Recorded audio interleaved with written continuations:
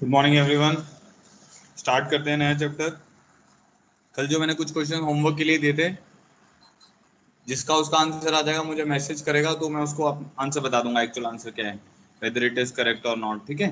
तो अभी हम नया चैप्टर स्टार्ट कर रहे हैं परमुटेशन एंड कॉम्बिनेशन ये भी थोड़ा सा लेंदी चैप्टर है बट काफ़ी इंटरेस्टिंग भी है। तो ये दो चैप्टर हैं जो कॉम्बिनेटोरिक्स में आते हैं, एक परमुटेशन एंड कॉम्बिनेशन और एक प्रोबेबिलिटी ये दोनों ही एल्जेब्रा के पार्ट हैं। ठीक है, चलो भाई स्टार्ट करते हैं इसको। अच्छा कॉम्बिनेशन एंड कॉम्बिनेशन का डेली लाइफ में बहुत ज़्यादा यूज़ है। जैसे आपने गाड़ी की नंबर प्लेट देखी होगी। सबने देखी होगी, ऐसा लिखा रहता है। जैसे, से पलवल की लिखते हैं। एच आर थर्टी और से A two three one eight कुछ ऐसा नंबर है। तो ये जो नंबर्स होते हैं ना ये जो नंबर है, जैसे eight two three one eight eight two three one five ये हमें ये बता सकते हैं कि भाई पलवल में कितनी गाड़ियाँ आज तक सेल हो चुकी हैं। ठीक है? इसके पीछे मतलब अब आपको समझ आ रहा होगा, आपने जैसे फ़र्स्ट में देखा होगा कि भाई ए से स्टार्ट हुए नंबर ठीक है? अब अगर आप दिल्ली का कोई नंबर देखोगे ना D L two C A S उसमें ये तीन डिजिट आ जाते हैं यहाँ पे सी एस और यहाँ पे फिर फोर डिजिट का और नंबर रहता है, जैसे नाइन वन वन ज़ीरो ऐसा लिख देता है। ठीक है तो डीएल टू सी एस और इसमें अब ये जो टू रहता है, ये तो एरिया कोड रहता है तो इससे कुछ भी जज नहीं हो सकता। इससे ये जज हो सकता है कि भाई कितनी कार इस एरिया टू में, जैसे टू जो है वो साउथ इधर का ईस्ट दिल्ली का कोड है।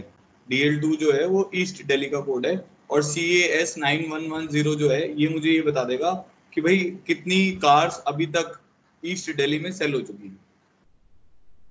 ठीक है? अब जैसे अगर मैं चार डिजिट के नंबर निकालने को बोलूँगा तो हम उसको पता कैसे निकाल लेते हैं, चार डिजिट के नंबर पहले पहला जो डिजिट है, इस पे अभी जैसे कार के नंबर की अगर बात करें तो यहाँ पे ज़ीरो भी आ सकता है वन भी आ सकता है टू भी आ सकता है, ऐसे करते करते नाइन तक डेसिमल्स आ सकते हैं। तो यहाँ पे टेन डेसिमल्स सॉरी नाइन तक डिजिट्स आ सकते हैं। तो यहाँ तक टेन डिजिट्स आ सकते हैं।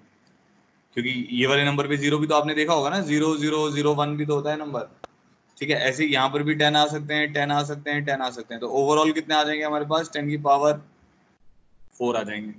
तो इसका मतलब है टेन थाउज़ेंड गाड़ियाँ जो हैं, वो इस एक नंबर के साथ बन सकती हैं। ऐसी अगर मैं, आप मान लो सी ए टी बनाऊँगा, इसके बाद सी एस के बाद एस आर एस टी आता है ना तो उसके बाद फिर टेन की बाद फोर गाड़ियाँ और बन सकती हैं। ठीक है तो जो भी ये नंबर्स डिसाइड किए जाते हैं इनफैक्ट जो मोबाइल नंबर्स हैं, आप अगर, आप मोबाइल नंबर भी देखोगे टेन डिजिट का मोबाइल नंबर होता है। तो और नाइन से अगर हम स्टार्ट करते हैं तो यहाँ पर कितने आ सकते हैं? टेन डिजिट्स टेन डिजिट्स तो टेन की पावर नाइन के साथ टेन की पावर नाइन मोबाइल नंबर्स हम यूनिक मोबाइल नंबर्स बना सकते हैं। ठीक है तो ये हमें आइडिया रहता है कि भाई इतना हमारे इतने नंबर्स बन चुके हैं, इतने नंबर्स फ्लोट हो चुके हैं, इतनी गाड़ियाँ तो ये सब चीज़ें निकालने के लिए पीएनसी का बहुत ज़्यादा यूज़ है। ठीक, भाई टाइम पे आया करो यार तुम, मैं हमेशा क्लास नाइन थर्टी पे स्टार्ट कर देता हूँ। ऐसा नहीं होगा कि आप लेट आ रहे हो, फिर मेरे को बोलो रिपीट करो सर ठीक है? मैं और एग्ज़ाम्पल दे रहा हूँ अभी। सुनो ध्यान से, ठीक है? तो परमुटेशन कॉम्बिनेशन का डेली लाइफ में बहुत ज़्यादा यूज़ है। अब मान लो हाँ तो दो मिनट लेट लेट ही होता है ना बेटा? मैं तो आ गया था मैं नाइन ट्वेंटी फाइव पे मैंने क्लास स्टार्ट कर दी थी you should come on time हाँ देखो सुनो, अब जैसे मान लो कि कोई एक बच्चा है तुम्हारी क्लास में, उसके पास तीन पैंट्स हैं अलग अलग कलर के। से रेड है ऑरेंज है, वो उसको साउथ इंडियन मूवीज़ का शौक है तो वहाँ पे जैसे पहनते हैं ना रेड पहन ली, एक ऑरेंज पहन ली और एक से वायलेट पहन ली। तीन उसके पास पैंट्स हैं, ठीक है? और मान लेते हैं उसके पास टू शर्ट्स हैं, या फोर शर्ट्स मान लेते हैं टू कम ही हो जाएँगी। फोर शर्ट्स मान लेते हैं, और ये भी डिफरेंट कलर की हैं। तो से मान लो, जो भी है मतलब जो भी आप लिखना चाहो, ठीक है? जो भी चार कलर है, वो मान लो। ठीक है, अब भाई वो ऐसा पहनना चाह रहा है तो वो क्या चाहता है? वो ये चाहता है कि भाई मैं हर रोज डिफरेंट कॉम्बिनेशन पहन। मतलब ऐसा लगे कि भाई इसके पास तो भाई बहुत सारे कपड़े हैं। तो वो क्या करेगा? वो ऐसा, जैसे अगर मान लो, जैसे हम लोग क्या करते हैं, हमारा एक पर्टिकुलर कॉम्बिनेशन होता है कि रेड के साथ मैं मान लो ब्लैक पहन रहा हूँ, ठीक है? तो मैं हमेशा रेड के साथ ब्लैक ही पहनूँगा। बट उसका ऐसा नहीं है। उसको वो ये चाहता है कि भाई रोज ऐसा लगना चाहिए कि मैंने नए कपड़े पहने हुए हैं। तो वो क्या करेगा? वो कॉम्बिनेशन बनाएगा। कितने कॉम्बिनेशन बना पाएगा वो? तीन पैंट्स हैं और चार शर्ट्स हैं तो कितने कॉम्बिनेशन बनाएगा?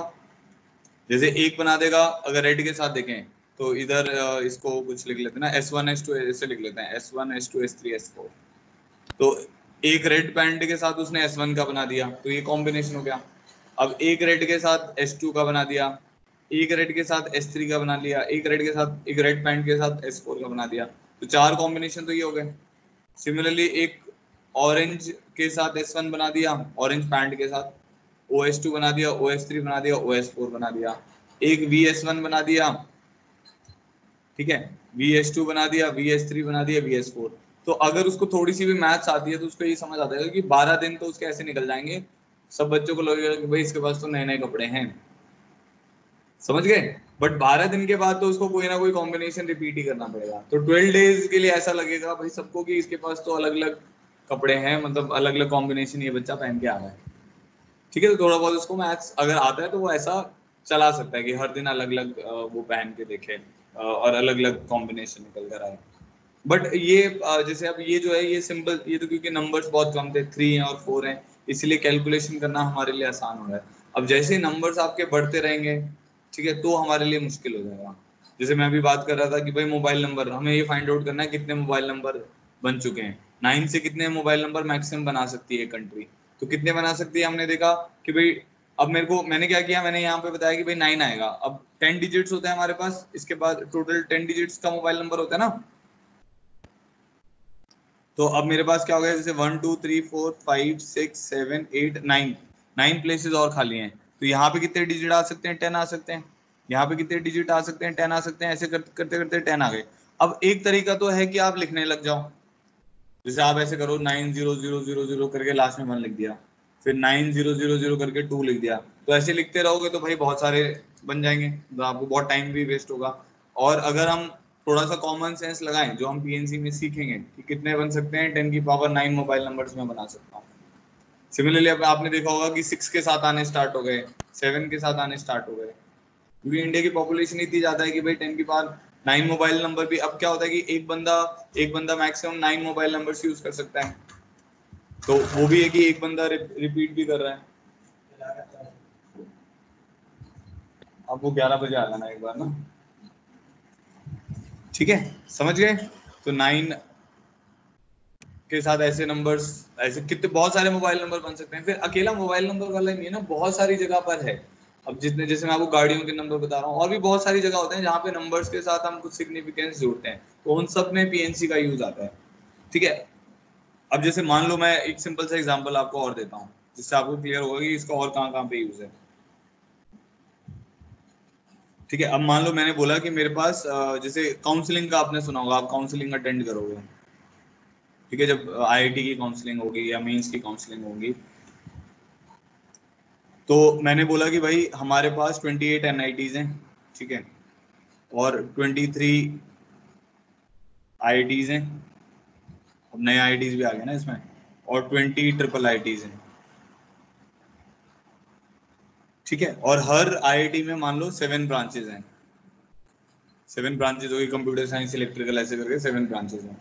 तो टोटल एक बच्चे के पास, जिसका मतलब हर एक पेपर क्लियर है तो टोटल एक स्टूडेंट के पास कितने ऑप्शंस रहेंगे ब्रांचेस लेने के? तो क्या आंसर होगा? अब या तो बैठ के गिनने लग जाओ, या कुछ थोड़ी सी कॉमन सेंस लगाओ। अब ऐसा भी हो सकता है, यहाँ पे सेवन ब्रांचेज हैं, यहाँ पे सिक्स ब्रांचेज हैं, यहाँ पे से मान लो ट्रिपल आई में ओनली फोर ही ब्रांचेज हैं। तो एक बच्चे के कितने ऑप्शन होंगे? अब आप समझ रहे हो कि ये पहले प्रॉब्लम तो बहुत आसान है। क्या आंसर होगा उसका? ट्वेंटी एट इंटू सेवन क्योंकि हर एक एनआईटी में अगर सेवन ब्रांचेज हैं तो उसके पास कितने ऑप्शन आ जाएँगे? ट्वेंटी एट इंटू सेवन आ जाएँगे। फिर इसमें आई में कितने ऑप्शन आ जाएँगे? ट्वेंटी थ्री इंटू सिक्स आ जाएँगे। ट्वेंटी इंटू फोर आ जाएँगे। फिर इन सबको ऐड करना पड़ेगा। अब ये मुझे कैसे पता चला कि यार ये करना पड़ेगा twenty eight into seven plus twenty three into six plus twenty into four ऐसा मेरे को कैसे पता चला कि भाई मल्टीप्लाई करके ऐड करना है? तो ये सब जो रूल्स वगैरह हैं वो हम पीएनसी में सीखेंगे। तो बहुत सारी कैलकुलेशंस हैं डेली लाइफ में जो हम आ, अगर खुद से करने बैठ जाएँ काउंटिंग करने लग जाएँ तो वो क्या होगा? बहुत मुश्किल क्रिएट कर देगा हमारे लिए। जैसे मैंने आपको नंबर्स का बताया, गाड़ियों के नंबर्स का बताया, ठीक है? ऐसे सिंपल सा एक बहुत डेली लाइफ का एग्ज़ाम्पल ले लिया, आपको शर्ट और पैंट का चाहिए, या ऐसे ब्रांचेस का चाहिए तो ऐसे बहुत सारे क्वेश्चन आप देखोगे, ठीक है? तो इसलिए अब हमें या तो बैठ के हम काउंटिंग करें, ठीक है? काउंटिंग करेंगे तो टाइम वेस्ट होगा। इसीलिए हम पीएनसी वाला चैप्टर सीखेंगे, जिसमें हम बिना काउंटिंग के एक्चुअली में काउंटिंग कर होंगे। तो जो मेन सब्जेक्ट है इस चैप्टर का, जो हम बोलते भी हैं, इस चैप्टर में क्या सीखेंगे हम? Counting without actually counting.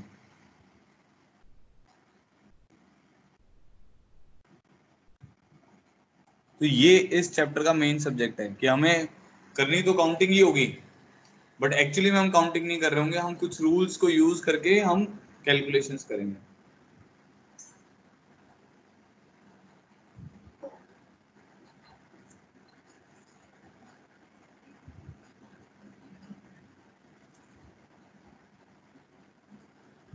ठीक है? तो एक स्टेटमेंट लिख देता हूँ, जिसमें हम ये बता देते हैं कि परमोटेशन कॉम्बिनेशन में हम करते गए in P N C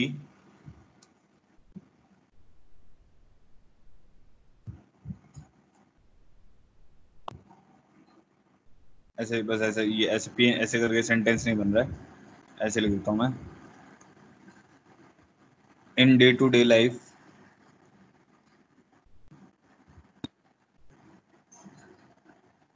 we always face the problem.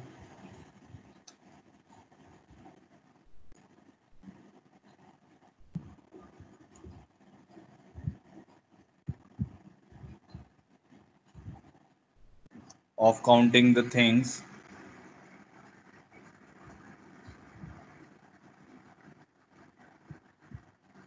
Of finding the number of ways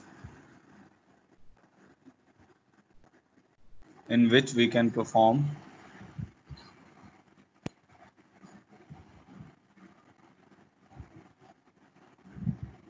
A certain activity. Basically इस चैप्टर में आप क्या करोगे? जो मैंने आपको थोड़ा सा इंट्रोडक्शन भी दिया, वो यही है कि इस चैप्टर में हम क्या करेंगे? काउंटिंग ही करेंगे बस। आपको नंबर ऑफ़ वेज निकाल लेंगे अच्छा इस चीज़ को करने के कितने वेज हैं? इस चीज़ को करने के कितने वेज हैं? इस चीज़ को अरेंज करने के कितने वेज हैं? ठीक है? अब जैसे एक और एग्जांपल ले लेते हैं। मान लो कि भाई आ, हमारे पास डॉक्टर्स की टीम है।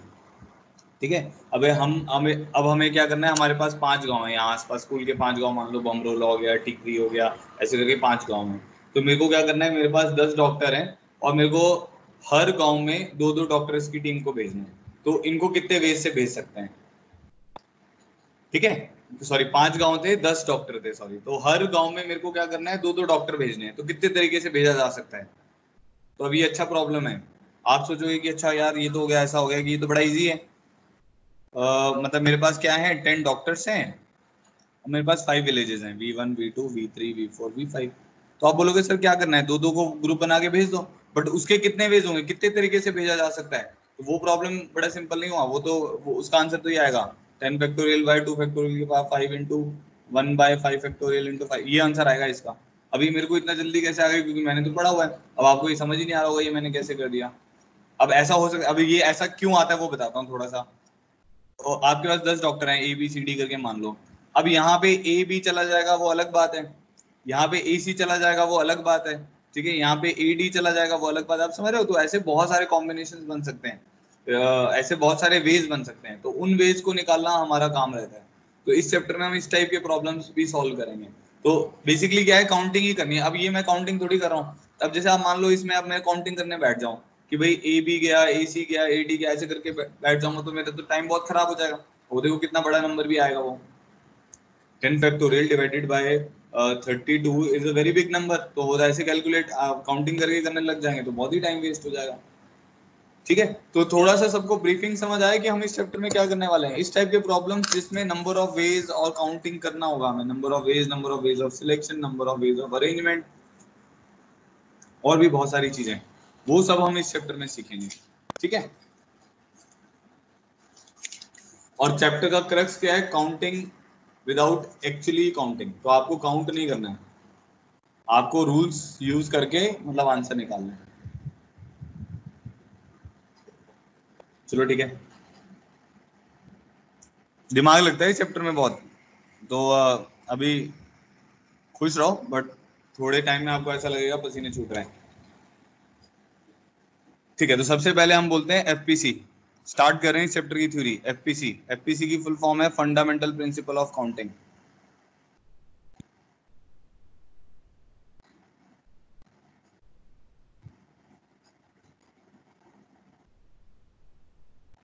fundamental principle of counting में हम दो रूल पढ़ते हैं। एक है मल्टीप्लीकेशन वाला रूल और एक है एडिशन वाला रूल ठीक है? तो पहले लिखना पड़ेगा मुझे तो मैं पहले थोड़ा सा लिख देता हूँ।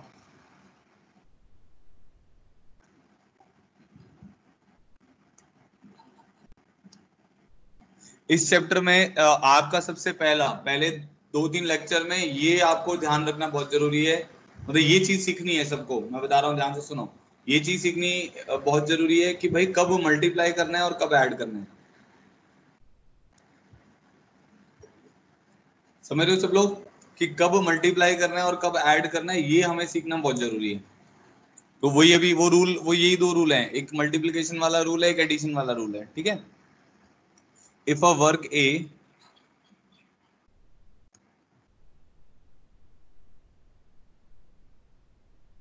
can happen in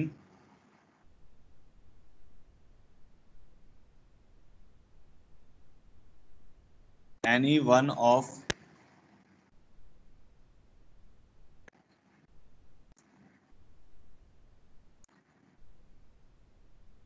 m mutually exclusive ways.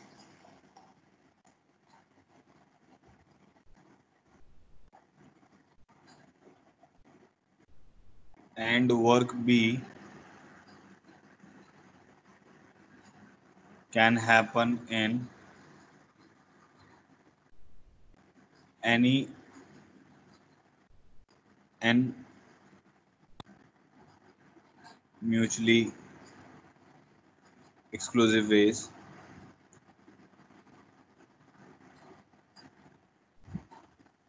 इसका क्या मतलब हुआ? वर्क ए को करने के एम वेज हैं, ठीक है? वो म्यूचुअली एक्सक्लूसिव है, वो उसका क्या मतलब होता है अभी बताऊँगा। तो work A can be done in M mutually exclusive ways and work B can be done in N mutually exclusive ways then the two works A and B can simultaneously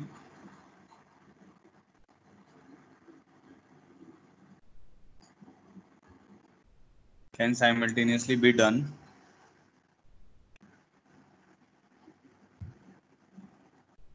In m into n ways या M N ways भी बोल सकते हो। ये word simultaneously का इसमें खास ध्यान रखना है आपको, और एक म्यूचुअली एक्सक्लूसिव वेज का खास ध्यान रखना है। ठीक है?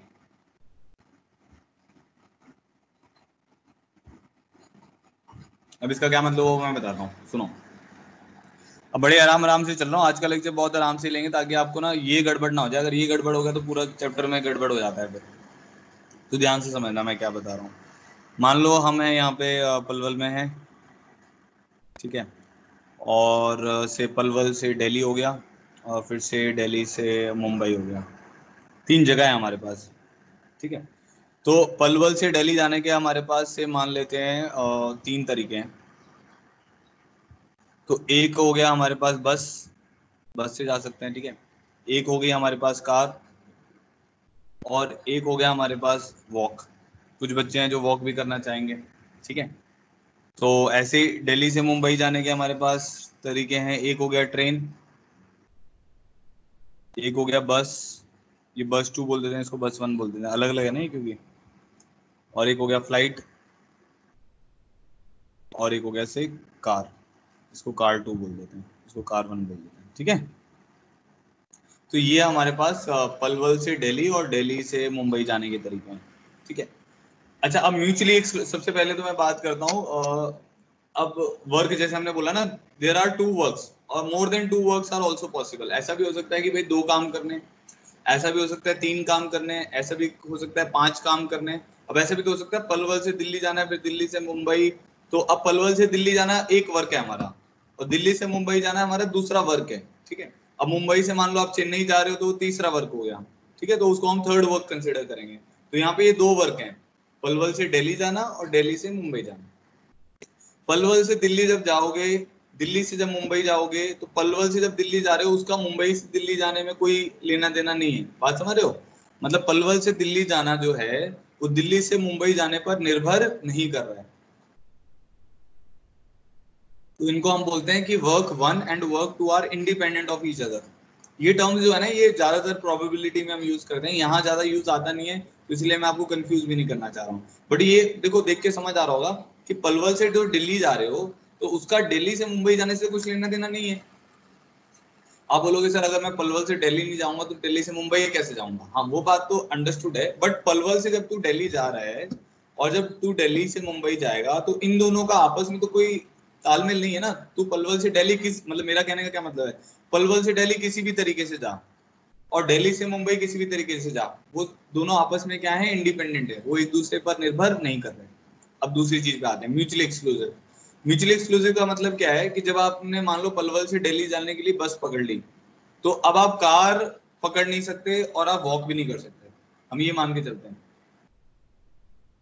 हाँ भाई, अभी रुक जा भाई थम जा भाई पलवल से मुंबई, तू कार से कैसे चल जाएगा? भाई, पलवल से दिल्ली जाना पड़ेगा पहले तुझे। ये कह रहा है पलवल, प्रणव कह रहा है Palwal to Mumbai by car and bus ठीक है, बहुत अच्छी कॉमेडी थी चलो वापस आते हैं। अभी जो मैं बता रहा हूँ, देखो, पलवल से दिल्ली जाना है तो जब तुम बस से जाओगे तो कार नहीं ले पाओगे ना। अब ऐसा नहीं है कि भाई आधे रास्ते बस से गए, फिर फिर उससे उतर गए, फिर आपने कार हायर कर ली या फिर उतर गए, फिर वॉक कर लिया। ऐसा नहीं मान रहे हम क्या मान रहे हैं? कि भाई, जब तू पलवल से दिल्ली जाएगा तो बस से ही जाएगा। अब बस खराब हो रही है नहीं हो रही तो बस को नहीं छोड़ेगा तो बस में बैठा रहेगा। तो ये म्यूचुअली एक्सक्लूसिव वेज हैं। मतलब जब आपने बस ले ली तो आप कार और वॉकिंग नहीं कर सकते। ठीक है, जब एक एक ले लिया तो दूसरा नहीं ले सकते आप। समझ गए? जब आपने कार ले ली तो आप बस और वॉक नहीं कर सकते। तो एक के लेने, एक वे चूज़ करने से दूसरा वे एक्सक्लूड हो जाता है। तो इसको बोलते हैं म्यूचुअली एक्सक्लूसिव जब तू दिल्ली से मुंबई जा रहा है जब तूने ट्रेन ले ली ना तो तू बस नहीं ले पाएगा फ़्लाइट भी नहीं ले पाएगा कार भी नहीं ले पाएगा। समझ गए? अब देखो म्यूचुअली एक्सक्लूसिव का एक और एग्जांपल देता हूँ। म्यूचुअली एक्सक्लूसिव का। इस पे आते हैं थोड़ी देर में। म्यूचुअली एक्सक्लूसिव समझ आ, किसी को किसी को समझ आ गया म्यूचुअली एक्सक्लूसिव वेज का क्या मतलब है? किसी को अगर समझ आया तो बताओ चैट बॉक्स में। यस बोलो।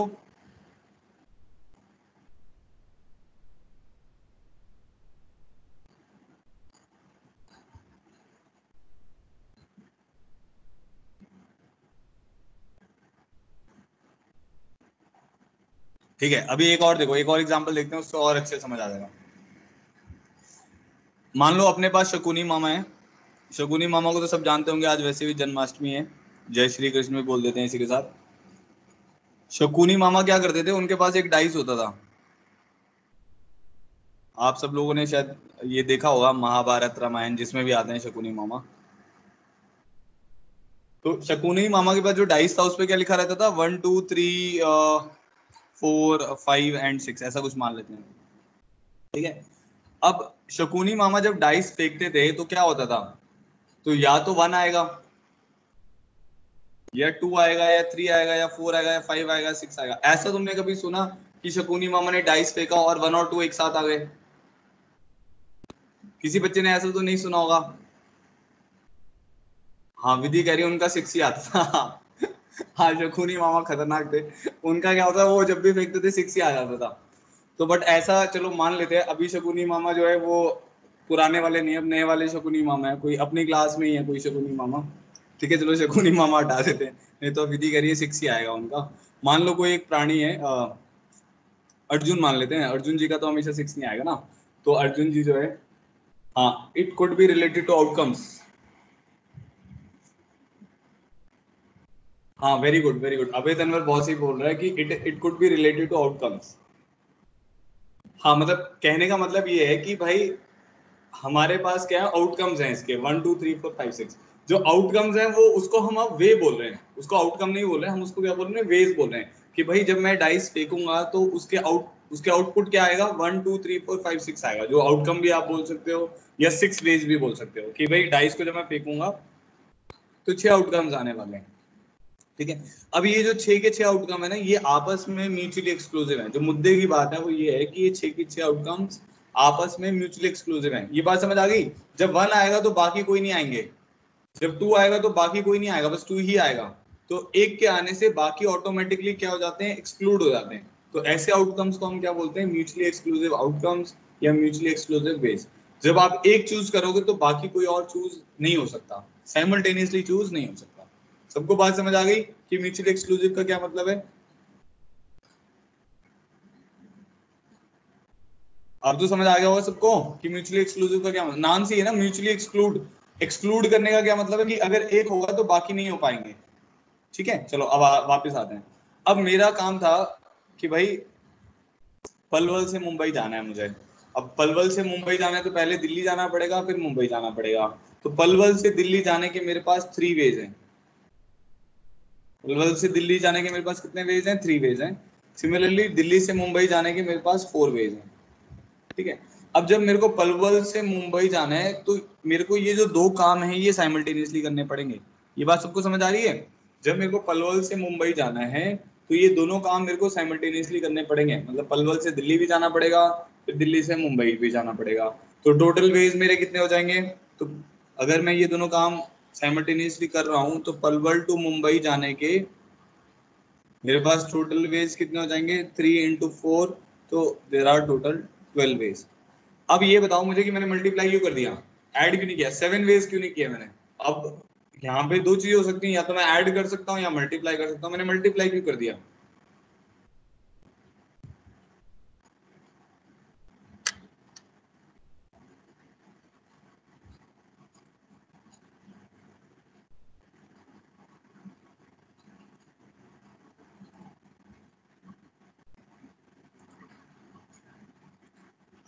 अबे यस मत देखो, ये लिखो कि मैंने मल्टीप्लाई क्यों किया?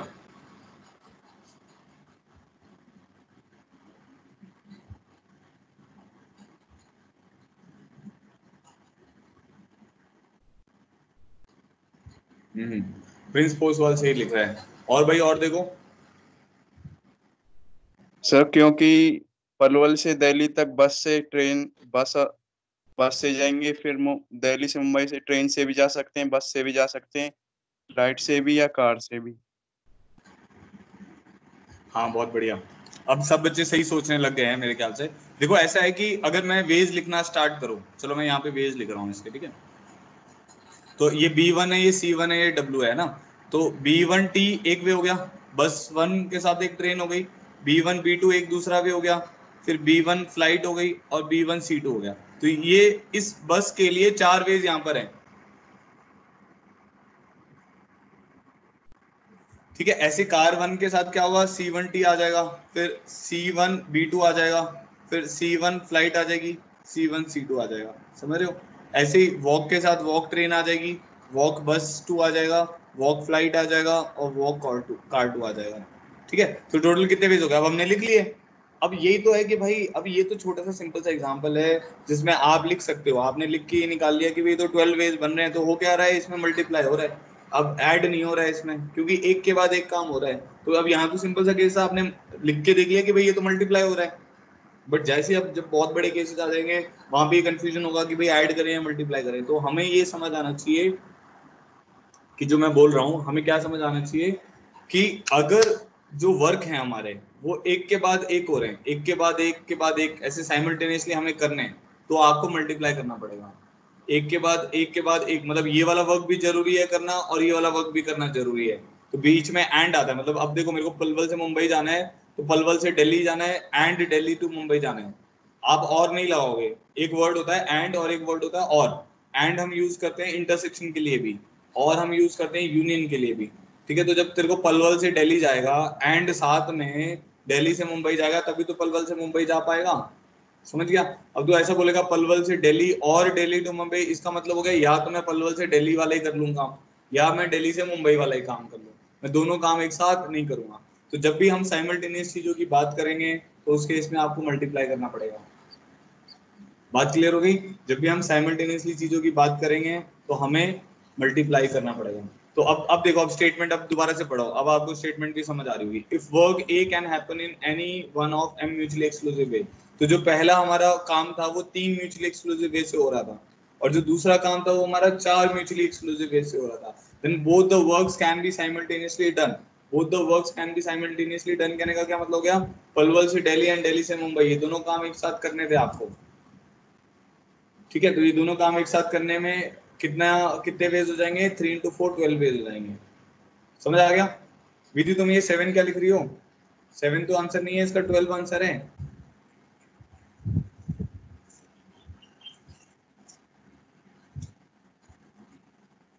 ठीक है? सबको ये क्लियर हो गया? ऑल क्लियर करो जल्दी से। हाँ अभी और वाला मैं बताता हूँ। अभी और वाला इसमें इसमें देखो क्वेश्चन पे ऐसा है ना कि मेरे को पलवल से मुंबई ही जाना है। तो पलवल से मुंबई जाने के तो मेरे पास ट्वेल्व वेज हो जाएँगे। और वो मैंने आपको लिख के भी दिखा दिए। नेक्स्ट आते हैं हम। नेक्स्ट है हमारे पास एडिशन रूल देखो, यहाँ तो आपको, क्योंकि बहुत इजीली समझाया जा रहा है तो आपको इजी भी लगेगा। ठीक है? बट प्रॉब्लम तो तब आएगी जब हम क्वेश्चन में देंगे, तब आपको सोचना पड़ेगा कि भाई एडिशन करना है कि मल्टीप्लीकेशन करना है। तो वहाँ पे दिमाग थोड़ा ज़्यादा लगेगा ठीक है? तो सेम एडिशन रूल में भी है। If work A can be done in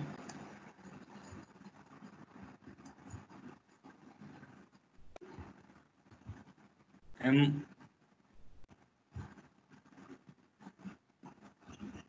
mutually exclusive ways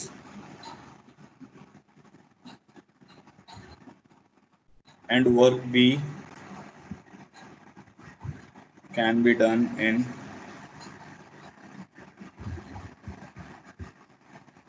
n mutually exclusive ways.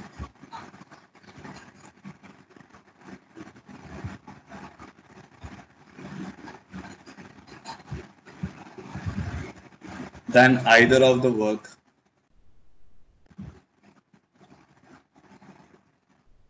A or B can be done in m plus n ways. ठीक है तो if work A can be done in m ways and work B can be done in n ways, then either of the work A or B can be done in m plus n ways. अब और आ गया बीच में कि या तो A करना होगा या B करना होगा दोनों एक साथ नहीं करने होंगे अगर दोनों एक साथ करने होंगे तो मल्टीप्लाई करेंगे अगर दिस और दिस करना होगा मतलब एक ए के होने से भी हमारा चल जा रहा है और बी के होने से भी, अकेले बी के होने से भी चल जा रहा है तो उनमें हम क्या करेंगे? ऐड करेंगे। अब इसका एग्जांपल भी देखते हैं।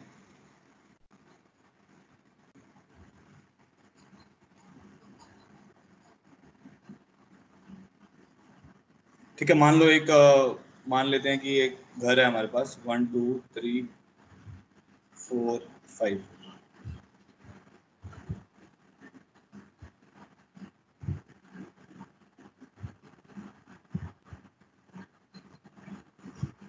इसको ऐसा वन टू थ्री लिख लेते हैं।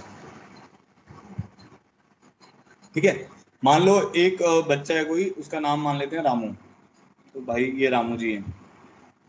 अब जो रामू जी हैं इन्होंने अपने घर में क्या किया है, इसको, इसने एक बिल्डिंग बनाई है, अपनी घर बनाई है। उसकी जो ग्राउंड फ्लोर है, उसमें इसने दरवाजे ही दरवाजे रखे हैं। इसको दरवाजों का बहुत शौक है और इसने अपने घर में एक तरफ़ लेफ़्ट हैंड साइड में, देखोगे अगर आप, उसने फाइव डोर्स बना दिए और राइट हैंड साइड में थ्री डोर्स बना दिए ठीक है, आप देखना, इस पे बहुत सिंपल सिंपल से एग्जांपल बन जाएँगे। तो जिसमें आपको क्लियर हो जाएगा तो आंसर करना आप लोग इसका, ठीक है, जो मैं बोल रहा हूँ। तो पहला पहला क्वेश्चन ये है कि भाई अब रामू लॉकडाउन में बैठा हुआ है, भाई घर के अंदर अपने घर वालों के साथ बोर हो रहा है तो उसके घर वालों ने बोला, भाई, रामू, आप जाओ और क्या करो, सब्ज़ी लेके आओ। तो मान लो यहाँ सब्ज़ी का ठेला है, यहाँ सब्ज़ी पड़ी है, यहाँ सब्ज़ी वाला भी है। ठीक है? तो सब्ज़ी वाला भाई वेट कर रहा है, रामू जी आएँगे, सब्ज़ी लेंगे। तो अब क्वेश्चन ये है कि रामू कितने तरीके से घर के बाहर जा सकता है सब्ज़ी लेने के लिए? In how many ways Ramu can go outside the home to buy vegetables जिसको हिंदी समझ में आ रही हो, उसके लिए। ठीक है? क्या करना है उसको घर के बाहर जाना है और सब्ज़ी लेके आना है। तो कितने तरीके से वो घर के बाहर जा सकता है? अबे हर्षित, तुझे क्या हो गया? भाई दिख नहीं रहा, क्या बनाया हुआ मैंने?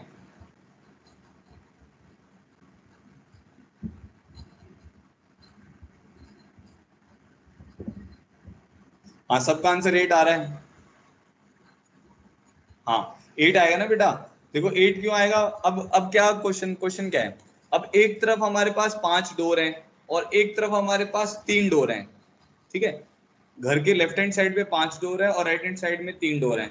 तो अब मल्टीप्लाई थोड़ी करोगे? फाइव इंटू थ्री फिफ्टीन थोड़ी कर दोगे?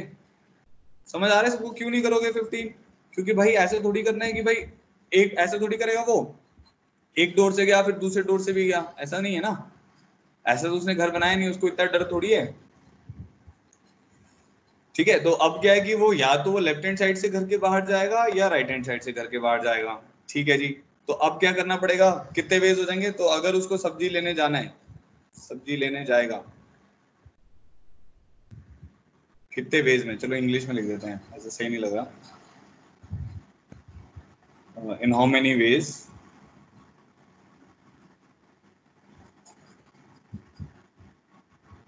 he can go outside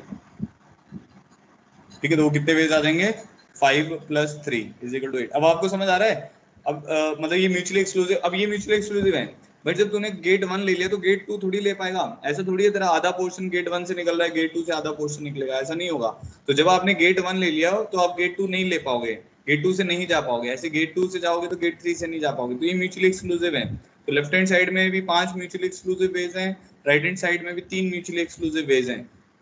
काम करने के, क्या काम करने के? घर से बाहर जाने के। समझ गए? तो he can go outside in eight ways तो ये समझ आ गया, और है क्योंकि या तो लेफ़्ट हैंड साइड से जाओगे और राइट हैंड साइड से भी जा सकते हो, इसीलिए ये ऐड होगा। चलो ठीक है, अब नेक्स्ट क्वेश्चन बनाते हैं। नेक्स्ट क्वेश्चन है आप मेरे पास कि भाई रामू को अब क्या करना है? अब रामू भाई खाली बैठा हुआ है। अगले दिन उसने सोचा, अब मैंने तो वेज निकाली घर से बाहर जाने की, अब मैं कुछ और करूँगा। तो उसने बोला कि अब next day in how many ways मतलब क्या करना है उसको सुनना, मैं यहाँ बता रहा हूँ। अब उसको घर के बाहर जाना है पहले तो। मतलब वो घर के अंदर है अभी। घर के बाहर जाना है और फिर घर के अंदर भी आना है। तो अब वो इसके वेज काउंट करने लग गया। तो उसने ये बोला कि अब मैं एक काम करूँगा। अगर मैं घर के बाहर जाऊँगा तो जिस डोर से जाऊँगा ना, उससे वापस नहीं आऊँगा, किसी और से वापस आऊँगा। तो कितने वेज होंगे? क्वेश्चन क्या है कि वो घर से बाहर जाएगा सब्ज़ी लेने, फिर सब्ज़ी लेके वो घर के अंदर आएगा। ठीक है? बट वो जिस डोर से बाहर जाएगा, उससे अंदर नहीं आएगा।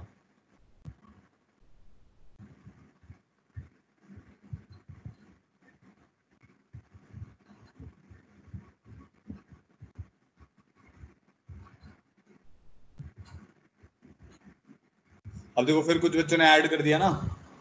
अभी मैं बोल रहा हूँ, जिस गेट से वो बाहर जाएगा, उससे अंदर नहीं आएगा।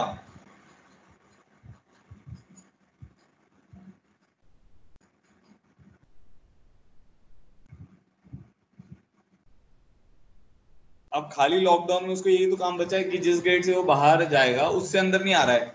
तो अब देखो, सुनो यार, ये तो बड़ी फिर कुछ बच्चों ने गलत उनसे बता दिया ना तो सब दही हो गया ये तो। देखो क्या है, बाहर जाने के कितने तरीके हैं। बाहर जाने के तो एक, अब अर्श, कैसा बच्चा है भाई, तू इधर ध्यान दे। देखो, जिसके भी आंसर गलत आ रहे हैं, मेरे को उन पे गुस्सा आ रहा है, भाई, इतनी देर से तो मैं यही तो समझा रहा हूँ। अब नहीं सिक्सटी एट कैसे आ जाएगा?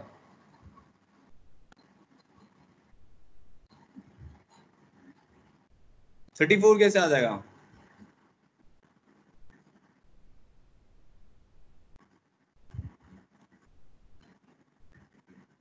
नहीं साइड स्पेसिफिक नहीं है ना। इसमें साइड स्पेसिफिक नहीं है। आप ऐसा मत सोचो कि लेफ़्ट से जाएगा तो लेफ़्ट से अंदर आएगा। ऐसा थोड़ी उसने कुछ बोला है। देखो, अब मेरे घर में कितने रामू के सॉरी मेरे नहीं। रामू के घर में कितने गेट हैं? आठ गेट हैं, ठीक है? तो वो कितने गेट से बाहर जा सकते बाहर जाने कितने वेज हो गए? एट वेज हो गए ना? बाहर जाने कितने वेज हो गए? एट वेज अबे विनय रुक जा थम जा, सुन। सब लोग अब सुनो, ध्यान से जो मैं बोल रहा हूँ। बाहर जाने के एट वेज हो गए। अब अब नेक्स्ट क्वेश्चन आता है कि भाई मल्टीप्लाई करेंगे कि ऐड करेंगे? अब जब वो बाहर गया, आठ तरीकों से, अब मान लो वो घर के बाहर आ गया तो घर के बाहर कितने तरीके से वो आ सकता है? आठ तरीके से। कौन से आठ तरीके हैं? लेफ़्ट में पाँच हैं राइट में तीन है। अब उसको अंदर आना है। अब मान लो वो इस गेट से बाहर गया तो अब मैंने क्या बोला, जब वो अंदर आएगा, वो इस गेट से अंदर नहीं आएगा। उसको अकेला अंदर थोड़ी आना है। दोनों वेज काउंट करने थे ना हमें तो।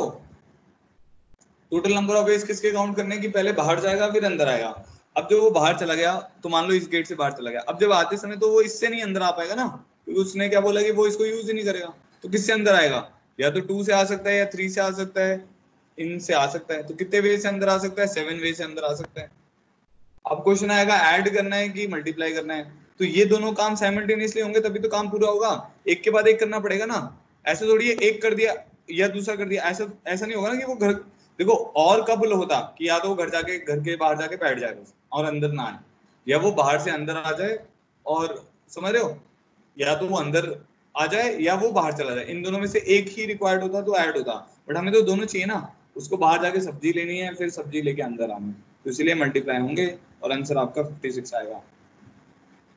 क्वेश्चन ये था, दोबारा से सुनो, कि भाई उसको घर क्वेश्चन भी समझ आना चाहिए। आधे बच्चों क्वेश्चन ही समझ नहीं आया, वो तो गलत करेंगे को। कि भाई घर के बाहर जाना है सब्ज़ी लेनी है, फिर सब्ज़ी लेके अंदर आना है। तो इसके टोटल वेस्ट निकालने तो ये दो काम हो गए ना, जैसे दिल्ली से पलवल से दिल्ली जा रहे थे, फिर दिल्ली से मुंबई। तो दो काम हो गए कि भाई पहले घर से सब्ज़ी लेने जाएगा, फिर सब्ज़ी लेके घर आएगा। ठीक है? अब जब वो घर वापस आ रहा है तो उस गेट को यूज़ नहीं कर सकता। इसीलिए आंसर 56 होगा कुछ बच्चों ने 64 भी लिखा हुआ है। वो 64 नहीं होगा ना? अब बताओ, ये क्लियर हो गया? जिन भी बच्चों का आंसर गलत आया अर्श अवनी विनय आप लोगों को क्लियर हुआ?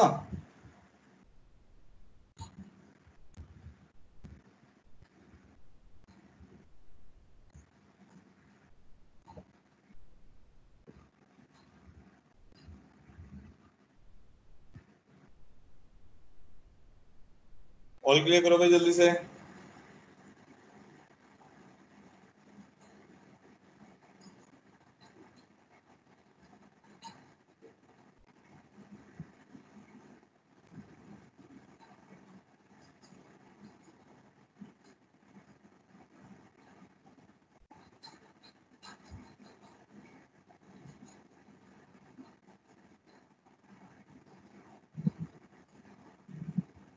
चलो ठीक है। तो अब अब हम सब लोगों को, देखो, जिसको भी अभी नहीं समझ आया, आपको पता है क्वेश्चन में क्या सोचना है? क्वेश्चन में ये सोचना है कि ये जो दो काम है, ये एक के बाद एक हो रहे हैं। अगर एक के बाद एक हो रहे होंगे या इसके बाद ये करना ज़रूरी होगा तो मल्टीप्लाई होगा, बीच में एंड आएगा। अगर बोलेगा दिस और दिस मतलब और आएगा तो फिर उसमें क्या होगा? एडिशन होगा। अब ये जब नहीं क्लियर होगा तो थोड़ा दिमाग में ज़ोर डाल के फिर सोचना पड़ेगा। ठीक है, अभी करते हैं क्वेश्चन करते हैं, आपको क्लियर होने लग जाएँगे। ठीक है? तो अब दो रूल हमें सबको मैंने समझाए अच्छे से। एक रूल है मल्टीप्लीकेशन और एक है एडिशन इन दोनों को मिला के हम बोलते हैं फंडामेंटल प्रिंसिपल ऑफ़ काउंटिंग इन दोनों को मिला के क्या बोलते हैं? फंडामेंटल प्रिंसिपल ऑफ़ काउंटिंग ठीक है? तो ये दोनों रूल उसी में आते हैं। चलो, अब प्रॉब्लम वन करते हैं। There are 25 mathematics books and 24 physics books on a library shelf.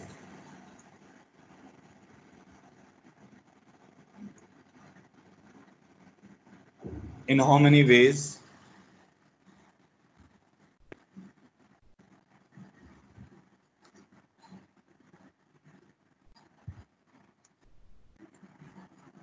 we अब देखो, इसमें क्या करना है? जो भी मैं क्वेश्चन पूछूँगा, आपको अपना दिमाग लगाना है। ये नहीं देखना है कौन क्या आंसर कर रहा है। समझ रहे हो?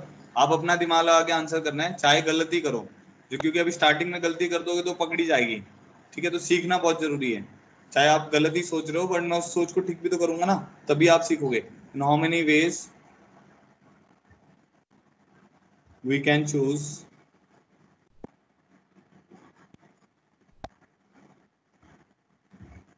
one mathematics and one physics book हमें आंसर बताओ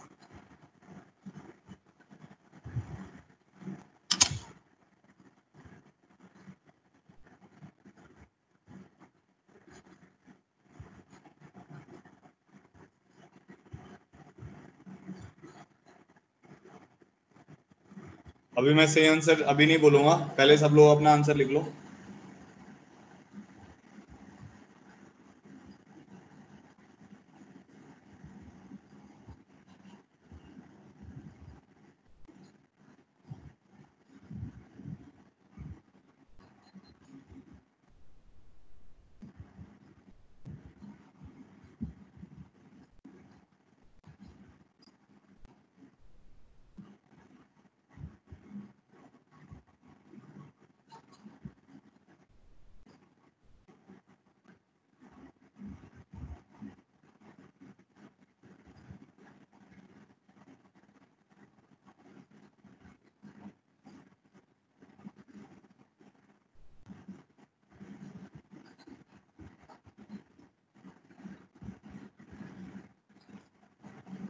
ठीक है, बहुत बढ़िया।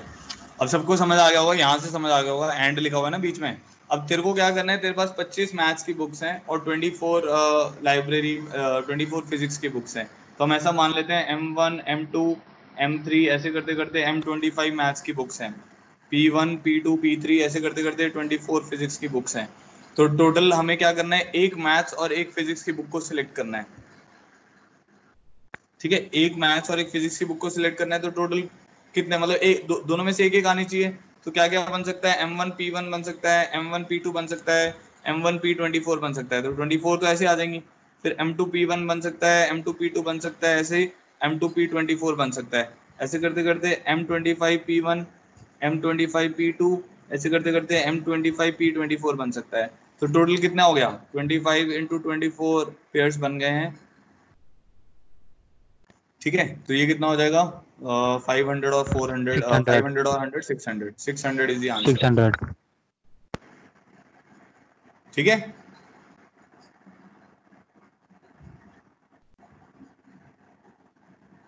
सबको क्लियर हो गया? चलो ठीक है बहुत बढ़िया। आगे बढ़ते हैं। तो पहला क्वेश्चन काफ़ी बच्चों को क्लियर हो गया।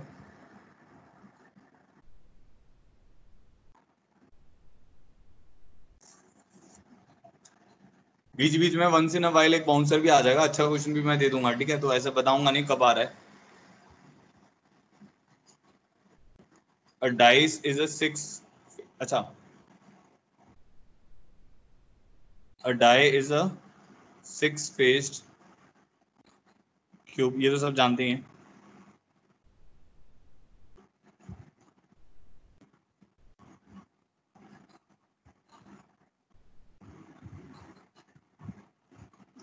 ठीक है डाई किसको बोलते हैं? डाई जो होता है, ये सिंगुलर वर्ड होता है। और जो डाइस होता है, वो प्लूरल होता है इसका। मतलब अगर जैसे आप दो डाई हो गए या तीन डाई हो गए तो उनको डाइस बोला जाता है। तो in how many ways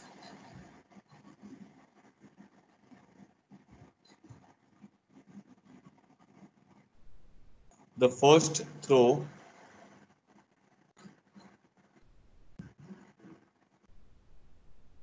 of two dice shows a sum of 5 and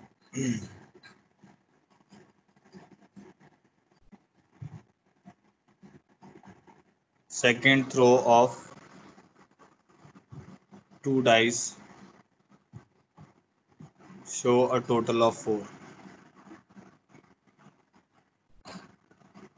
करो भाई आंसर बताओ इसका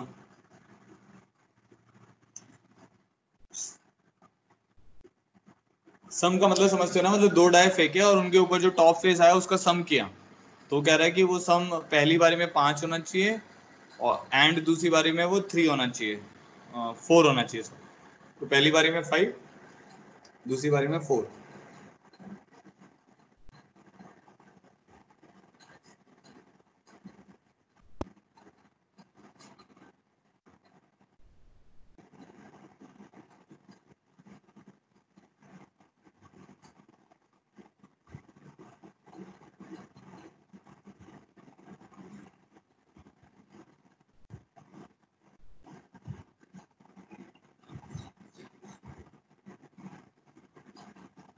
हाँ भी लिख लो, सब लोग अपने आंसर लिख लो, फिर मैं आंसर बताता हूँ इसका।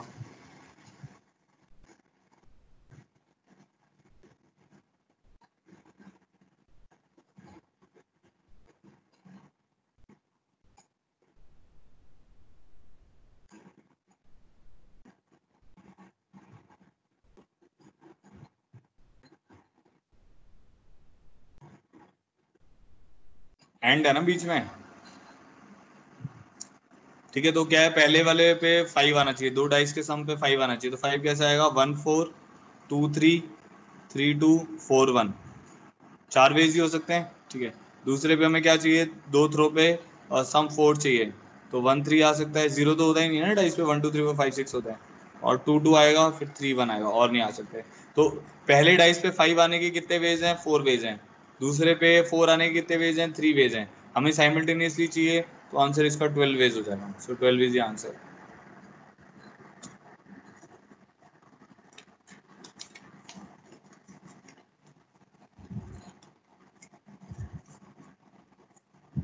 ठीक है, आगे बढ़ते हैं।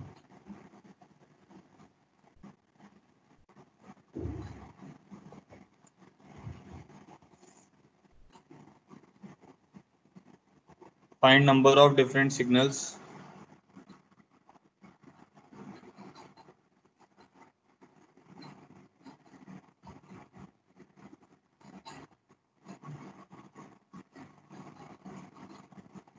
That can be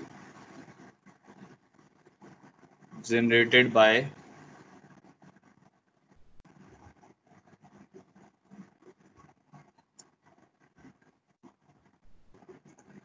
arranging at least two flags in order.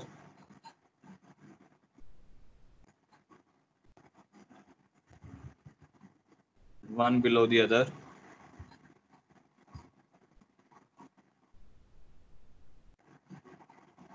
on a vertical staff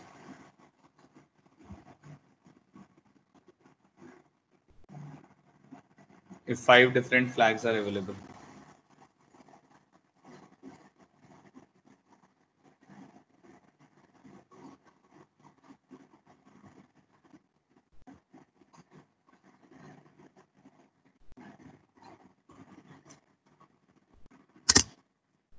Find number of different signals that can be generated by arranging at least two flags in order on a vertical staff if five different flags are available. ये एक बार try करो देखो ये किसका answer आता है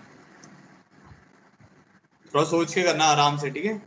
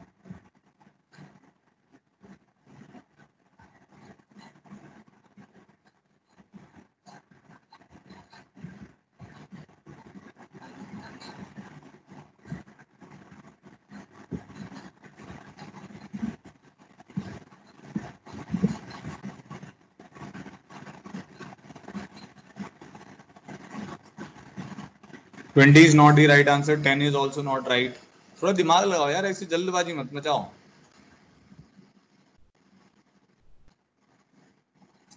ये line देखो arranging at least two flags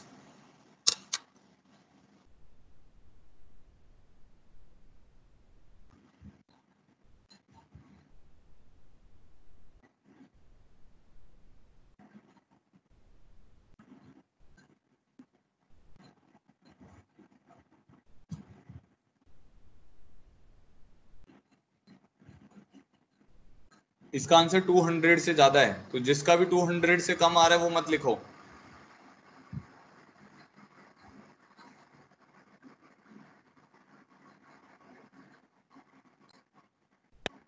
जिसका आंसर 200 से कम आ रहा है, वो मत लिखे।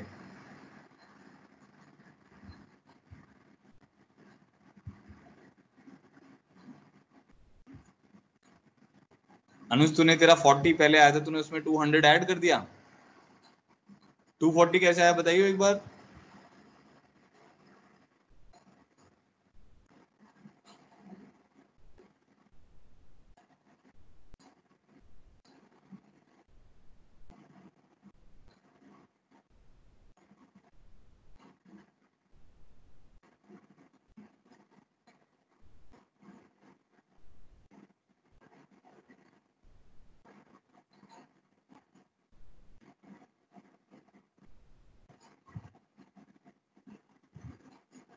नहीं 252 भी नहीं है। 240 भी नहीं है।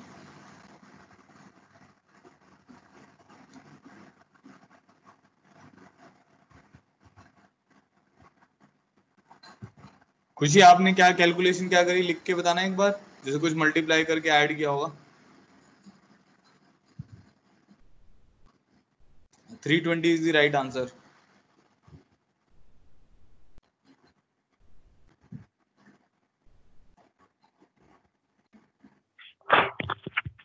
Sir, 5 into 4 plus 5 into 4 into 3 plus 5 into 4 into 3 into 2 plus 5 into 4 into 3 into 2 into 1. ठीक है एकदम परफेक्ट अबे तूने भी ऐसे किया है? 120 120 60 20 हाँ बहुत बढ़िया। ठीक है ठीक है अब कुछ फाइव सिक्स स्टूडेंट्स ने कर लिया। अब देखो क्या था। अब देखो क्वेश्चन पढ़ो एक बार। हमारे को क्या करना है ना डिफरेंट सिग्नल्स जनरेट करने हैं। अब सिग्नल्स का क्या मतलब है? जैसे आपने ऐसा देखा होगा ना वर्टिकल स्टाफ किसको कहते हैं? जो जिसपे आप जैसे फ्लैग लगाते हो ना वो जो स्टिक्स सी रहती है जो डंडा रहता है उसको स्टाफ कहते हैं। ठीक है? तो जिसपे फ्लैग लगाया जाता है उसका जो डंडा रहता है उसको स्टाफ कहते हैं। ठीक है? तो अब वो क्या कह रहा है कि आ, मेरे को डिफरेंट सिग्नल्स जनरेट करने हैं। तो अब ये बताओ जैसे आपने आ, ये बना दिया ऐसा बना दिया झंडा। जैसे आपने देखा होगा ऐसे इस टाइप का भी झंडा देखा होगा आपने। ठीक है, हमारे पास पाँच डिफरेंट फ्लैग हैं, मान लो अलग अलग कलर के हैं तो यहाँ पे अगर रेड आएगा, यहाँ पे ब्लैक अगर आएगा तो ये डिफरेंट फ्लैग है, ठीक है? मतलब एक सिग्नल है जो कि जिसमें ब्लैक ऊपर आ रहा है और रेड नीचे आ रहा है। अगर आपने ये सिग्नल बना दिया, जिसमें रेड ऊपर आ रहा है ब्लैक नीचे आ रहा है तो ये अलग सिग्नल होगा। ठीक है तो ये दोनों सिग्नल अलग अलग है हमारे पास। ठीक है, पहले तो ये चीज़ समझ आनी चाहिए। तो यहाँ पे क्या होगा, आपके जो फ्लैग्स हैं ऊपर कोई और है, नीचे कोई और है या नीचे कलर चेंज कर रहे हो, अगर आप आपस में स्वैप कर रहे हो तो वो अलग अलग सिग्नल माना जाएगा। तो ये एक टाइप का सिग्नल हो गया, जैसे एक सिग्नल ये, एक सिग्नल ये। क्योंकि उसने एटलीस्ट टू फ्लैग्स बोले हैं तो आप तीन से भी बना सकते हो सिग्नल तो अपना। तीन फ्लैग यूज़ करके भी सिग्नल बना सकते हो। तो कितने कितने फ्लैग यूज़ कर सकते हो? या तो आप दो फ्लैग यूज़ कर लो तो इससे सिग्नल बनेंगे कुछ। या आप तीन फ्लैग यूज़ कर लो, इससे कुछ सिग्नल बनेंगे। या आप चार फ्लैग यूज़ कर लो, इससे कुछ सिग्नल बनेंगे। या आप पाँच फ्लैग यूज़ कर लो, इससे कुछ सिग्नल बनेंगे, क्योंकि उसने बोला है, मेरे को भाई एटलीस्ट दो फ्लैग यूज़ करने तो ऐसे सिग्नल्स आपके पास बनेंगे। अब टोटल कितने फ्लैग्स हैं हमारे पास? फाइव डिफरेंट फ्लैग्स हैं।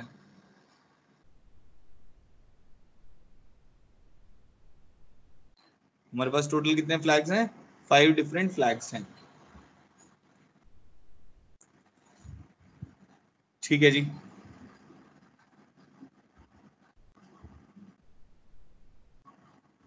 अब देखना। तो अब मेरे पास मान लो फाइव डिफरेंट फ्लैग हैं तो यहाँ पे मेरे को अब क्या है ना कि ये दो मेरे पास फ्लैग हैं, मेरे को यहाँ पे देखना है कि भाई कितने सिग्नल मैं बना सकता हूँ। तो जब आपके पास फाइव डिफरेंट फ्लैग्स हैं, आप इसको ऐसे सोचो, पहली जगह पे मैं पाँच फ्लैग रख सकता हूँ और दूसरी जगह पे मैं चार फ्लैग रख सकता हूँ। इसको ऐसे सोचना है, जैसे मैं बता रहा हूँ। पहली जगह पे, जो पहली प्लेस है उसमें मैं पाँच फ्लैग रख रहा हूँ और दूसरी जगह पे मैं चार फ्लैग रख सकता हूँ, क्योंकि एक मैंने कंज्यूम कर लिया होगा। तो दो फ्लैग से हम बीस सिग्नल बना सकते हैं। अब इसको वैसे भी सोच सकते हो देखो कैसे। जैसे मान लो मेरे पास आ, आ, कलर को बोल देते हैं C one C two C three C four C five पाँच कलर है। तो मेरे को फ्लैग बनाने हैं। तो दो दो दो को यूज़ करके ना तो एक फ्लैग कौन सा बनेगा? सी वन सी टू का बनेगा। एक कौन सा बनेगा? सी वन सी थ्री का बनेगा। एक कौन सा बनेगा? सी वन सी फोर का बनेगा। एक कौन सा बनेगा? सी वन सी फाइव का बनेगा। तो ये फाइव सी टू कॉम्बिनेशन आ जाएँगे आपके पास। दो दो के कॉम्बिनेशन उठा रहा हूँ ना मैं? लिख देता हूँ सारे। C two C three C two C four C two C five C three C four C three C five और सी फोर सी फाइव तो ये कॉम्बिनेशन और ये भी लेना पड़ेगा हमें, क्योंकि जैसे मैंने आपको बताया कि भाई रेड ब्लैक लेंगे तो ब्लैक रेड भी लेना पड़ेगा। तो इन सब के एक एक और कॉम्बिनेशन आ जाएगा। तो टोटल कितने हो गए? One two three four five six seven eight nine ten तो ten into two total twenty ways हो जाएँगे और वही हमने यहाँ पे लिखा हुआ है फाइव इंटू फोर तो फाइव इंटू फोर लिखने का क्या मतलब है? फाइव इंटू फोर लिखने का ये मतलब है कि भाई पहली जगह पे आपके पास पाँच फ्लैग आप पुट कर सकते हो। C one C two C three C four C five में से कोई भी पाँच फ्लैग आप पुट कर सकते हो। मान लो जब यहाँ पे सी वन आ गया तो यहाँ पे सी वन नहीं आएगा, यहाँ पे क्या आएगा? सी टू आएगा सी थ्री आएगा सी फोर आएगा या सी फाइव आएगा। तो साइमल्टेनियसली पुट करना है, इसलिए दो सिग्नल जनरेट करने के लिए हमारे पास टोटल वेज कितने हो जाएँगे? फाइव इंटू फोर इसको बॉक्स मेथड भी बोलते हैं। ये हमने दो बॉक्स बना लिए। पहले बॉक्स में कितनी चीज़ें आ सकती हैं? पाँच आ सकती हैं, दूसरे में कितनी आ सकती हैं? चार आ सकती हैं और मल्टीप्लाई कर देते हैं। जब बॉक्स मेथड लगाते हैं, उसमें अरेंजमेंट ऑटोमेटिकली इंक्लूड हो जाते हैं। ठीक है? चलो, आगे बढ़ते हैं। अब इसमें कितना होगा? आपके पास पाँच फ्लैग हैं, तीन प्लेसेस हैं। यहाँ पे कितने आ सकते हैं? पाँच आ सकते हैं। यहाँ पे कितने आ सकते हैं? चार आ सकते हैं। यहाँ पे कितने आ सकते हैं? तीन आ सकते हैं। तो ये बन जाएगा five into four into three ठीक है? कितना आ जाएगा? Five into four into three आ जाएगा।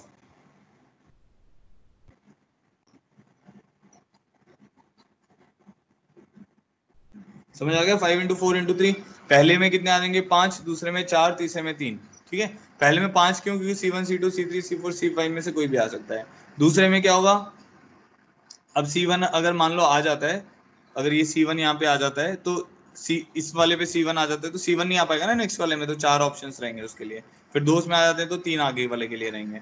ऐसे इसमें पाँच रहेंगे, एक कंज्यूम हो गया अब, एक फ्लैग कंज्यूम कर लिया। बाकी कितने बचे? चार, फिर दो कंज्यूम हो गए, फिर बाकी बचे तीन फिर तीन कंज्यूम हो गए, फिर दो बचे। तो यहाँ आ जाएगा five into four into three into two plus यहाँ आ जाएगा five into four into three into two into one ठीक है तो यहाँ आ जाएगा five into four into three into two into one ठीक है तो ये कितना हो गया? Twenty plus sixty plus one twenty plus one twenty तो ये हमारे पास आ जाएगा थ्री ट्वेंटी ठीक है, देखो किसको नहीं समझ आया, बताओ मुझे एक बार।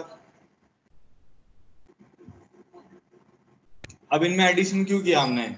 क्योंकि या तो आपका सिग्नल दो का बनेगा। अब इनको आपस में क्यों नहीं मल्टीप्लाई किया? या तो आपका सिग्नल दो फ्लैग से बन सकता है, और क्या हो सकता है? तीन फ्लैग से बन सकता है, और चार फ्लैग से, और पाँच फ्लैग से। ऐसा नहीं होगा कि दोनों सिग्नल आप एक साथ ही बना दोगे। दोनों एक साथ तो नहीं बनेंगे। या तो दो का, दो फ्लैग से बनेगा, या तीन से बनेगा, या चार से बनेगा, या पाँच से बनेगा।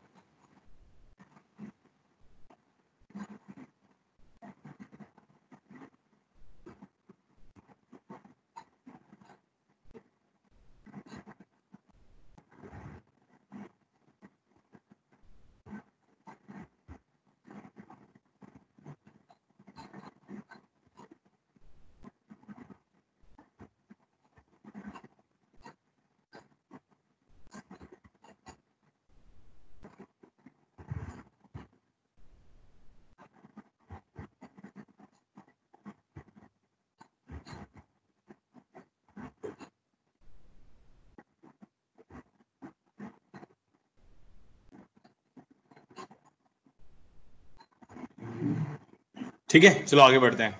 नेक्स्ट देखते हैं।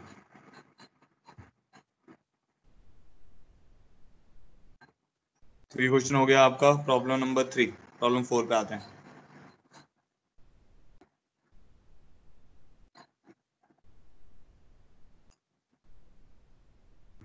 There are six roads there are six roads between a and b and four roads between B and C. ठीक है six roads between A and B and four roads between B and C. In how many ways can one drive from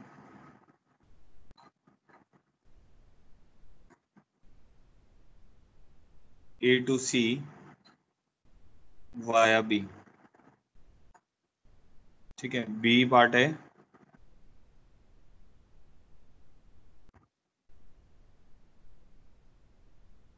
In how many ways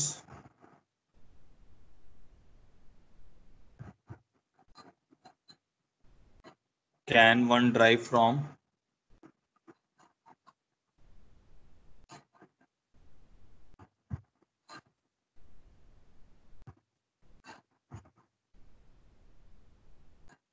can one drive from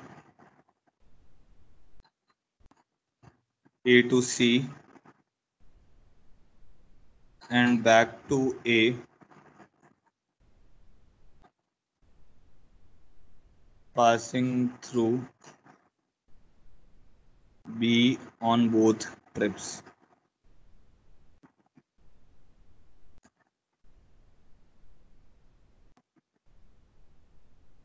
C है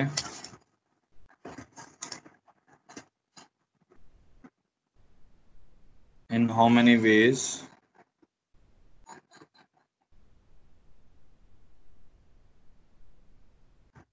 can one drive from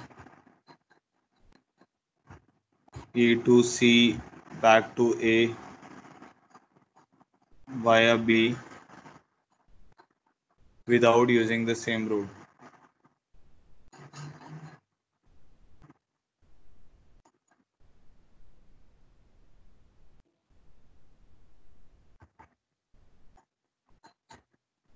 ठीक है जी, चलो अब आगे आते हैं। जैसे पहला वाला पार्ट तो बड़ा सिंपल है, ऐसा इसको लिख लेते हैं। ए टू बी जाने के और B to C A to B जाने के हमारे पास सिक्स रोड्स हैं। ठीक है तो हमारे पास यहाँ से यहाँ जाने के सिक्स रोड्स हैं। तो सिक्स रोड्स हमारे पास यहाँ से यहाँ जाने के हैं और यहाँ से यहाँ जाने के हमारे पास फोर रोड्स हैं।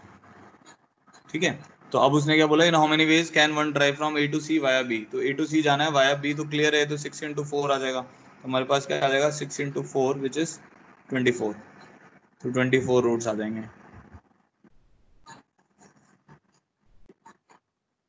ट्वेंटी फोर वेज आ जाएँगे मतलब A to C via B तो मतलब ए टू बी भी जाना पड़ेगा बी टू सी साइमल्टेनियसली करना पड़ेगा, इसलिए मल्टीप्लाई होगा। ठीक है, ये तो क्लियर है अपने को।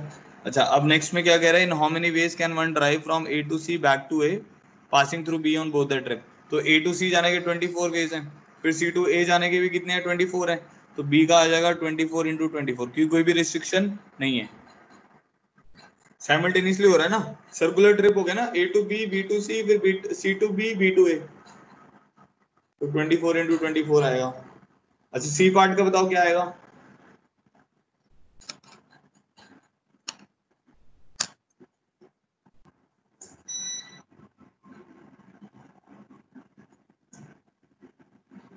सी पार्ट का बताओ सी पार्ट का। ये 24 फोर इंटू ट्वेंटी गलत है।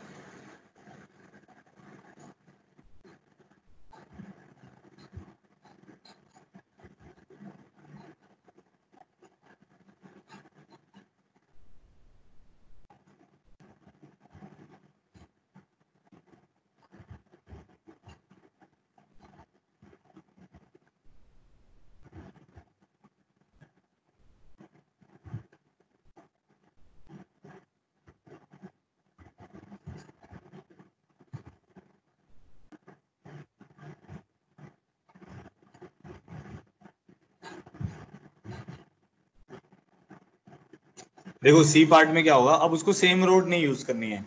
मान लो छह रोड है यहाँ पे। ठीक है one two three four five six six roads हैं। और यहाँ पे फोर रोड्स हैं। तो जब ए टू बी जाएगा six ways B to C जाएगा फोर वेज तो जब लौटेगा तो एक रोड कंज्यूम हो चुकी ना वो यूज़ नहीं करनी है। जब इधर आएगा तो फाइव वेज तो ट्वेंटी फोर इंटू फिफ्टीन आएगा। थ्री सिक्सटी ठीक है, समझ आया सबको? चलो, ठीक है। इजी सा क्वेश्चन था हो गया हुआ सबसे। ठीक है, अब आगे बढ़ते हैं नेक्स्ट देखते हैं। Problem five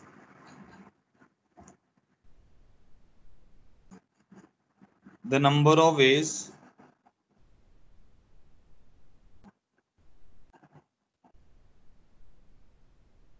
in which two small squares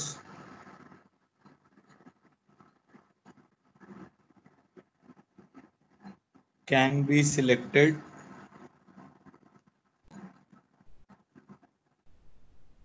On the normal chessboard.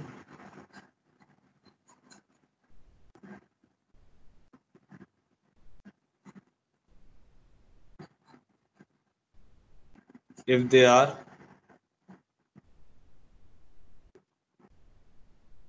not in the same row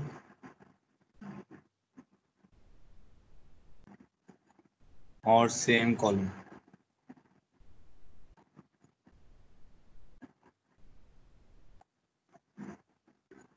ठीक है, अब इसमें एक चीज़ जो है, मैं चेस बोर्ड के बारे में बताता हूँ आपको। जो चेस बोर्ड होता है ना, उसमें एट रोज और एट कॉलम्स होते हैं। जैसे ये चेस बोर्ड है तो उसमें ऐसे एट वन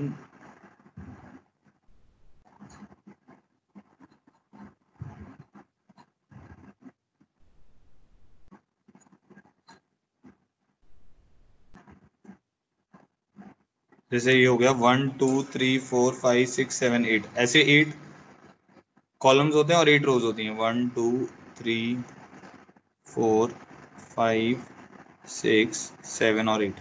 ठीक है? और एक ब्लैक होता है, एक वाइट होता है, ऐसे करके होता है। ठीक है? तो ये अब ये क्वेश्चन करना है आपको। तो chess board eight cross eight का बोर्ड होता है एक्चुअली में। एट मतलब टोटल सिक्सटी फोर स्केयर होते हैं वन यूनिट के इसमें।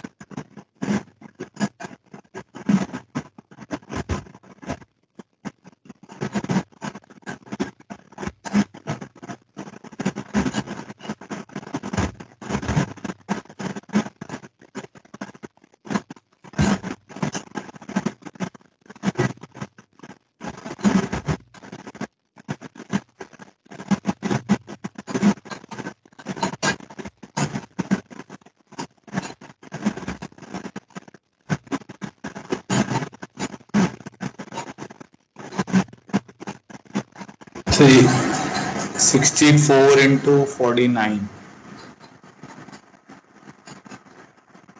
sixty four into forty nine कितना आ रहा है? Three one three six sixty four into forty nine is not the right answer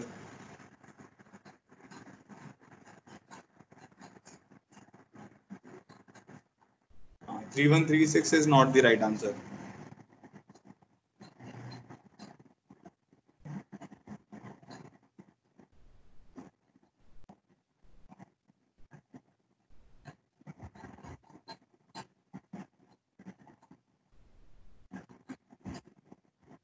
Lavish तुमने बाय टू क्यों किया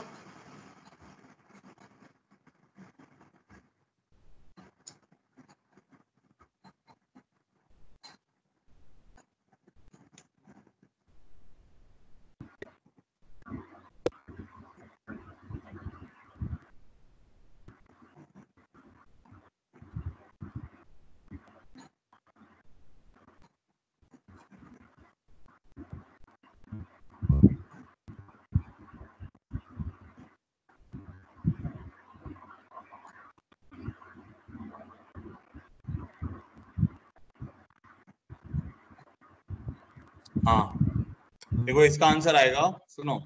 पहला जो बॉक्स है, पहला कोई भी एक बॉक्स अगर मैं सिलेक्ट करता हूँ, उसको सिलेक्ट करने के वेज है 64 तो मान लो आपने कोई भी एक सिलेक्ट कर लिया, मान लो ये सिलेक्ट हो गया हमारा, ठीक है? अब जो दूसरा आप सिलेक्ट करोगे, उसमें क्या होगा? ये रो और ये कॉलम हट जाएगा हमारा।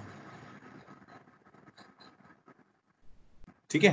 ये रो और ये कॉलम हट जाएगा और हमारे पास क्या बचेगा? देखो one two three four five six seven one two three four five six seven समझ रहे हो? अब ऐसे सोच सकते हो टोटल सिक्सटी फोर है, उसमें से कितने हटेंगे? एट इस रो में से एट इस कॉलम में से बट एक रिपीटेड है तो सिक्सटी फोर माइनस फिफ्टीन हो जाएगा। ठीक है? तो सब लोग ये तो सोच ही रहे हैं sixty four into forty nine answer होना चाहिए। तो मान लो आपने पहला ये सिलेक्ट किया और दूसरा ये सिलेक्ट किया हो। ठीक है? बट ये ना रिपीट हो गया, ये वाला केस सिक्सटी ये जो है sixty four into forty nine में ये दो बार आ गया है। ये दो बार क्यों आएगा? क्योंकि जब आप 64 लिख रहे हो तो 64 का मतलब होता है कि आप इन 64 बॉक्सेस में से कोई भी एक सिलेक्ट कर रहे हो। मान लो इसको हमने नाम दे दिया ए और इसको नाम दे दिया बी ठीक है? तो इस 64 में ये ए सिलेक्ट हो गया और इसमें ये बी सिलेक्ट हो गया। मान लो पहले, पहला एक वे ये ले लिया। अब इस 64 में बी भी तो आ रहा है ना? क्योंकि जब आप इसमें क्या मानते हो कि पहले पहले को सिलेक्ट करने के 64 वेज हैं तो उसमें से जैसे ए सिलेक्ट हो गया है, और इस 49 में बी सिलेक्ट हो गया। बट इस 64 में 64 फोर इंटू फोर्टी में एक केस ये बनेगा, जब यहाँ पर बी सिलेक्ट हुआ होगा, और अब आप बी की रो और कॉलम हटाओगे, और ए उसमें, इसमें आ जाएगा। तो वो ए बी और बी ए दो अलग अलग आ गए मतलब अरेंजमेंट हो रहा है इसमें। ए बी और बी ए को आपने मतलब दो माना, दो अलग अलग माना हुआ है, जबकि हमें ए बी और बी ए को एक ही मानना है, क्योंकि इसने क्या बोला हुआ है? सिलेक्टेड बोला हुआ है इसने। इसने बोला मेरे को सिलेक्ट करना है बस। जैसे ए बी और बी ए है तो ए बी और बी ए सिलेक्ट करने हैं बस। ए बी और बी ए को एक ही मानना पड़ेगा मतलब अलग अलग नहीं मानना है। ठीक है? इसीलिए हमारा आंसर क्या आएगा? 64 four into forty nine by two आएगा। तो ये आएगा 32 टू इंटू फोर्टी नाइन तो thirty two into forty nine is the answer जब हम 64 फोर इंटू फोर्टी नाइन कर रहे हैं तो उसमें रिपीट होगा। ठीक है? इसीलिए वो बाय टू करेंगे हम लोग। बताओ भाई क्लियर हो गया कि नहीं क्लियर हुआ?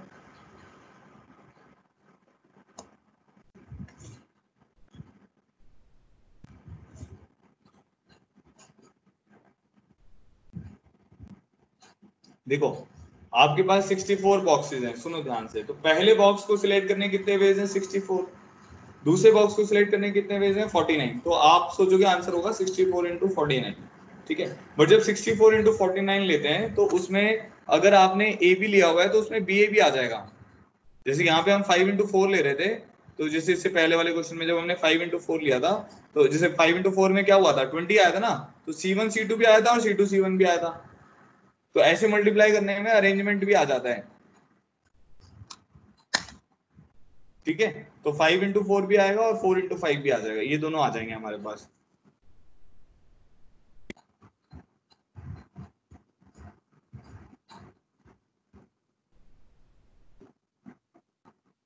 ठीक है? तो इसीलिए 64 फोर इंटू फोर्टी नाइन में क्या होगा? ए बी भी आएगा बी ए भी आएगा। तो बाई टू करोगे तो क्या होगा? वो ए बी और बी ए को एक ए बी और पी ए दो है ना? अब उनको एक ही तो मानना है हमें। तो इसीलिए thirty two into forty nine आ जाएगा।